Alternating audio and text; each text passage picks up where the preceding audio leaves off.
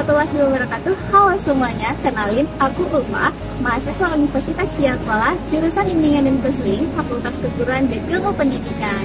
Sebelumnya, aku mau ucapin terima kasih nih kepada Forum Komunikasi Pimpinan FIC Indonesia yang telah mengadakan lomba vlog ini. Dan juga aku mau berterima kasih kepada kampus tercinta yang telah memfasilitasi aku untuk mengikuti ajang kegiatan ini. So, untuk kali ini aku mau kasih tahu nih tema untuk hari ini adalah yaitu Aceh Metua Ngon Ragam Pusaka edisi Bedah Museum Oke, pertama-tama kita masuk ke pameran tetap di pintu utama Museum Acehnya. Dan kita sudah disambut ya sama petugas museum yang dengan sangat ramah Dan juga kita bisa menyerahkan tiket yang sebelumnya sudah kita ambil di pusat informasi dan juga tiket. Nah, kemudian kita diarahkan nih dari mana kita untuk memulai masuk museumnya Hingga nanti kita keluar lagi dari museumnya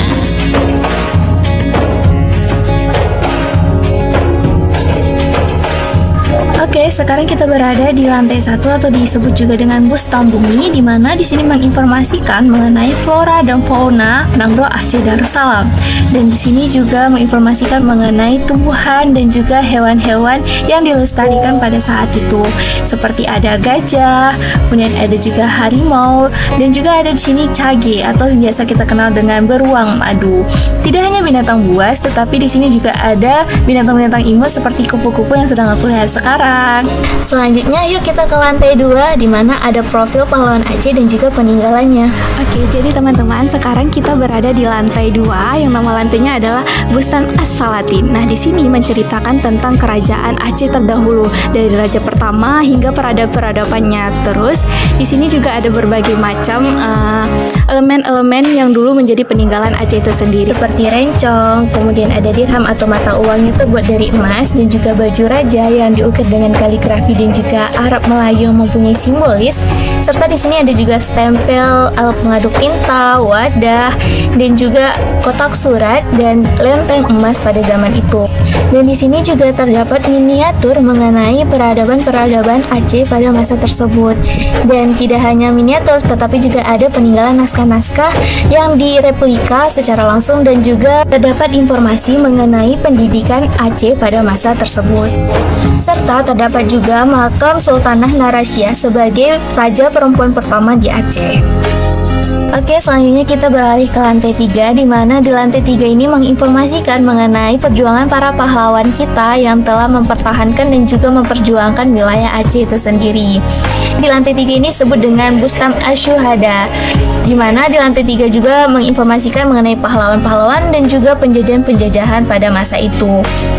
Tidak hanya itu, di sini juga terdapat senjata-senjata tajam yang membuktikan adalah bentuk uh, alat yang digunakan oleh para pahlawan dalam pemberontakan pada masa penjajahan terdahulu.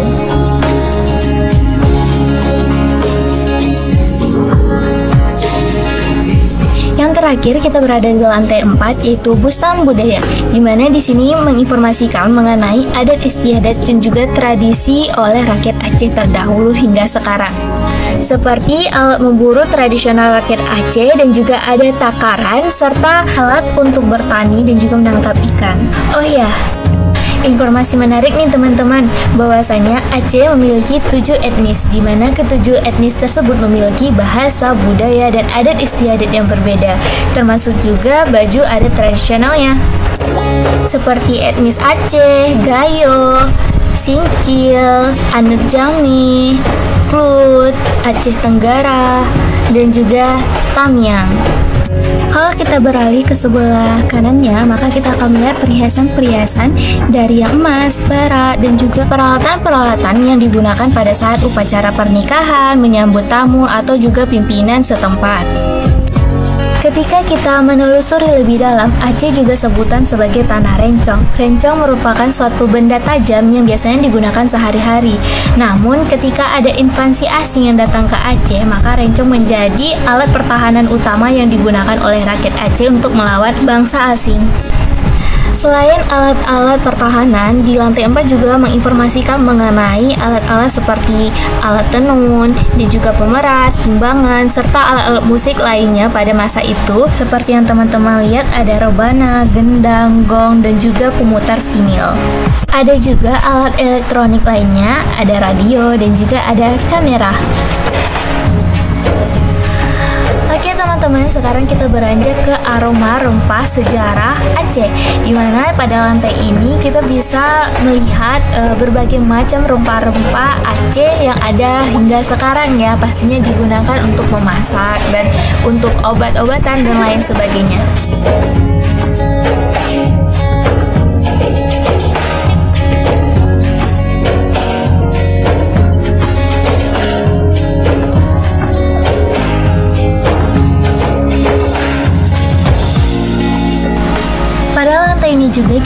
melihat Cula Badak dan juga Gading Gajah dan ada beberapa prestasi lainnya. Nah, setelah ini kita menuruni tangga dan menuju pintu keluar. Oke, segitu dulu perjumpaan kita hari ini. Sampai jumpa lagi. Eits, tunggu dulu. Ya kali kita nggak lihat rumah Aceh. Kok langsung kita lihat? Nah, sekarang aku udah di luar dan inilah bentuk rumah Aceh atau kita sebutnya dengan rumah Aceh. Di mana ciri khas rumah Aceh ini adalah dengan warna-warna yang emang ciri khas Aceh dan juga terbuat dari bambu dan juga kayu yang tanpa alat paku. Ayo kita coba masuk. Nah, pertama-tama kita memperlihatkan lagi tiket yang sebelumnya dan menyerahkannya kepada petugas dan kita diarahkan untuk melihat ke atas dan turun lagi ke tempat yang sama. So, apa sih yang di dalamnya? Ayo kita lihat. Oke, sekarang kita berada di rumah adat Aceh sendiri. Mari kita lihat apa aja sih di dalamnya. Di awal masuk kita sudah diperlihatkan topi pria Aceh yang biasanya digunakan oleh raja-raja terdahulu dan juga di sini ada miniatur orang yang menggunakan baju adat tradisional Aceh itu. Nah, selanjutnya di sini juga memperlihatkan perhiasan yang digunakan pada masa dahulu hingga sekarang juga kalau menikah masih digunakan. Nah, kalau kita lanjut lagi di sini ada logam atau mata uang di zaman dulu, di zaman Aceh dahulu, dan perangkat-perangkat rumah seperti lampu, kemudian ada wadah, tempat penyimpanan, serta ada songket yang biasanya digunakan di pinggang.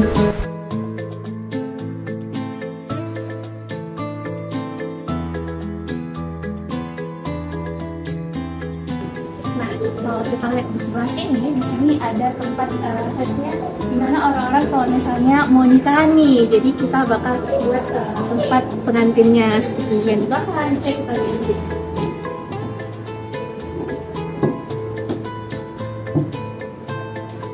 Tidak diperbolehkan masuk ya.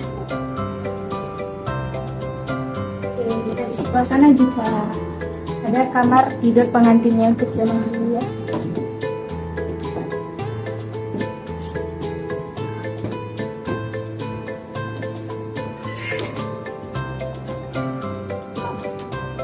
Kamar tidur ini juga disebut dengan jure. Ini ada kayak rumen atau cambung-cambung yang bisa dipakai pada saat uh, setelah memasak. Nah, di sini juga ada banyak uh, wadah keramik yang pada zaman dulu digunakan dan ini tempat spesialnya adalah tempat ibu-ibu buat masak. Ini video dulu jadi masaknya pakai tungku, terus rempah-rempahnya masih ada ya asri. Nah, jadi zaman dulu uh, pas masa kerajaan Aceh itu masaknya cuma pakai tungku dan juga pakai eh, kayu-kayu. Uh, dan di sini ada juga seperti wadah-wadah tempat penyimpanan air. Nah ini yang terakhir ini merupakan tempat peristirahatan atau seperti kasur setelah lelah letih kita bisa beristirahat di tempat ini.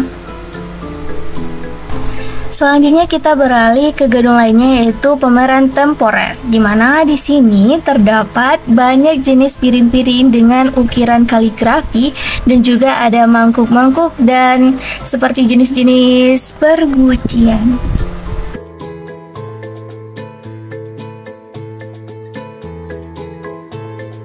Sebelum mengakhiri video, aku mau kasih tahu, ini merupakan vlog kearifan lokal mengenai ciri khas budaya Aceh yang dilestarikan melalui Museum Aceh dan juga Museum Aceh termasuk salah satu museum tertua di Indonesia.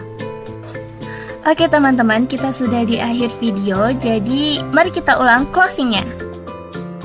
Oke, segitu dulu perjumpaan kita hari ini. Sampai jumpa lagi. Assalamualaikum warahmatullahi wabarakatuh.